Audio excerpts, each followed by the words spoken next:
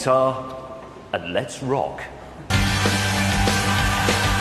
This week's finalist is a soft and gentle lullaby from those rock monsters, Deep Purple.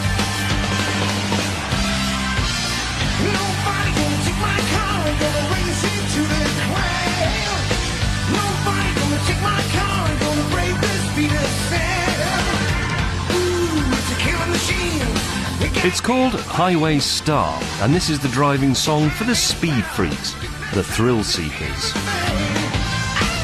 The unsung heroes who swim in adrenaline and never use the brakes.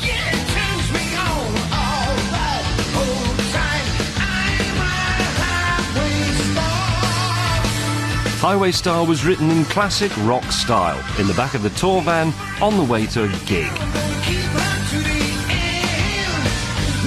Singer Ian Gillan says the best songs are written in five minutes and that Highway Star proves the point.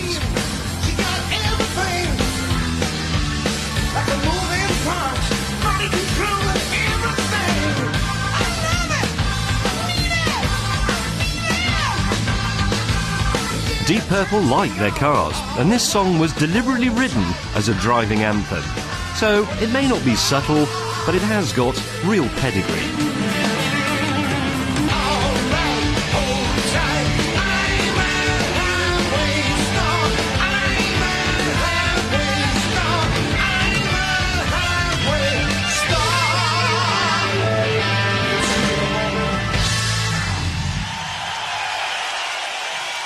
So, to vote for Deep Purple's Highway Star, you telephone 09011 986363 and press number 4 on your keypad. That will cost you 10 pence. You can also do it on the interweb, bbc.co.uk forward stroke top gear. You can vote for any song at any time. However, we have been told that if you vote on the internet for Meatloaf's Bat Out of Hell, your internet service provider will change your domain name to Loser.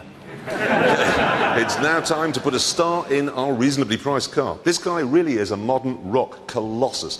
He's sold three million albums, he's won three Brit Awards, he's won an Ivor Novello Award, and he's had an entire South Bank show dedicated to his band. So, out of the darkness and into the Liana, ladies and gentlemen, Justin Hawkins! How are you? Have a seat. Merci. Oh, yes. That's comfy. Uh, okay, now listen.